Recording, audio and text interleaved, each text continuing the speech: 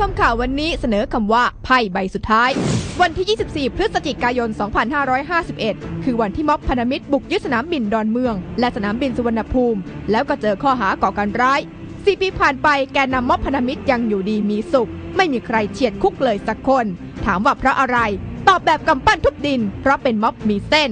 และแล้วประวัติศาสตร์ก็หวนกลับมาอีกครั้ง วันนี้เซอ้ายพลเอกบุญเลิศแก้วประสิทธิ์ขันอาสามาเป็นหน้าม้าเป็นหุ่นเชิด เพื่อให้ชาติไทยหยุดเดิน หวังจะย้อนกลับไปสู่ยุคหิน โดยประกาศเชิญชวนคนกันเองออกมาเป็นพยานหนึ่งล้านคน เสธ.อ้ายจึงดูคล้ายว่าเป็นคนรักชาติเหลือหลาย แต่หากได้พิจารณาทั้งองคาพยพวอลเปเปอร์ทั้งผืนลวดลายและสีสันไม่ได้แปลกตาแปลกใจคนที่รักประชาธิปไตยอะไรเลย เพราะทั้งหมดคือขบวนการไอ้เข้หวงไข่บ้าอำนาจของเครือข่ายอำมาตย์ทั้งมวลโดยไม่เข้าใจเลยว่าประชาธิปไตยมันคืออะไร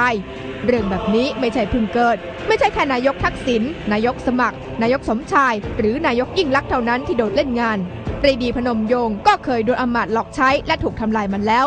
ม็อบแช่แข็งประเทศไทยคราวนี้จะจบอย่างไรยังไม่มีใครรู้ รู้แต่ว่านี่คือไพ่ใบสุดท้ายที่อำมาตย์งายออกมาเล่น ระวังเกมส์โอเวอร์ก่อนแล้วกัน